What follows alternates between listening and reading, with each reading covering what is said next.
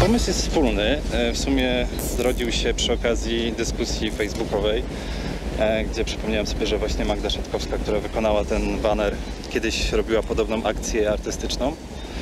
I postanowiliśmy trochę ją urozmaicić, trochę ją zmienić i tak powstał baner Tęsknię za Tobą Czechu. Czas jest taki, że trzeba było działać szybko i w potrzebie chwili został ten napis stworzony właśnie bez użycia jakichś tam dodatkowych środków, bez kosztów na starych materiałach, które kiedyś służyły promocji naszej wspólnej imprezy, która się tu odbywała na granicy, także jest taka łączność z jednej strony. Czujemy się trochę dziwnie w tych e, zmieniających się czasach, że raptem granica została zamknięta i nie możemy przekraczać tej granicy, która na co dzień dla nas była normalnym przejściem. No my już tu żyjemy jako jedno miasto, jako jedna społeczność i te relacje mogły być różne, ale jednak mimo wszystko dalej jesteśmy braćmi.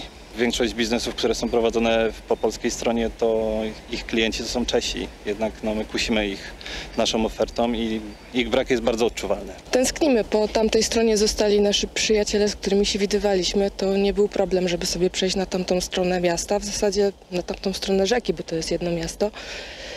Także teraz ten kontakt został troszeczkę nam e, ucięty i tęsknimy. do kolegów z pracy, do, do, do, do gospod, które mamy po czeskiej stronie, do, do naszych przyjaciół po prostu. Mamy nadzieję, że jednak przez media społecznościowe do nich dotrze nasz taki apel, że tęsknimy za nimi i mamy nadzieję, że wkrótce znowu się spotkamy.